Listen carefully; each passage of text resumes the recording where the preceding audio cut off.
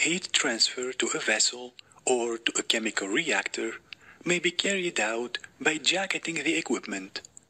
Jackets are often provided for vessels requiring frequent cleaning or for vessels which are difficult to equip with internal coils. Now, jackets may be of several types. Among them, we can list conventional jackets or half pipe coil jackets. Conventional jackets are formed with another cylinder concentric to the vessel that needs to be cooled or heated. An example of a jacketed chemical reactor with a simplified cross-sectional view is seen here.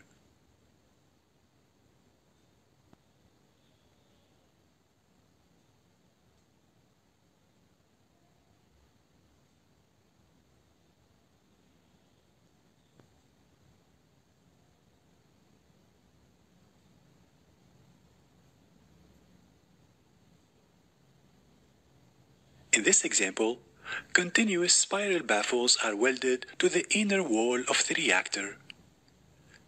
A heat transfer fluid, depicted here in red, flows through the jacket. Let's assume here that the red fluid is a hot fluid and that the fluid inside the reactor is the cold fluid and needs to be heated. In this arrangement, the two fluids are adjacent to each other since the jacket forms a cylinder concentric to the reactor vessel. As a result, the two fluids have a cold, hot pattern.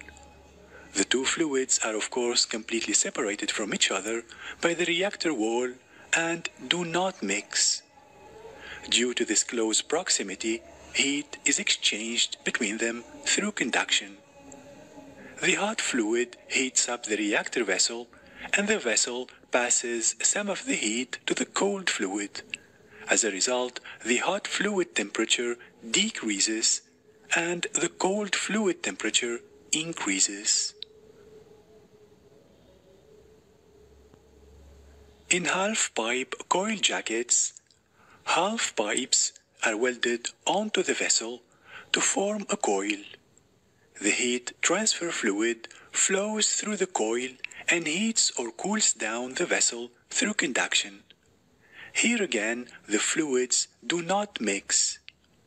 Now, in some arrangement, the jacket can be divided into multiple zones for maximum flexibility and efficiency, as depicted in this example, where you can see two heat transfer zones, Zone 1 and Zone 2.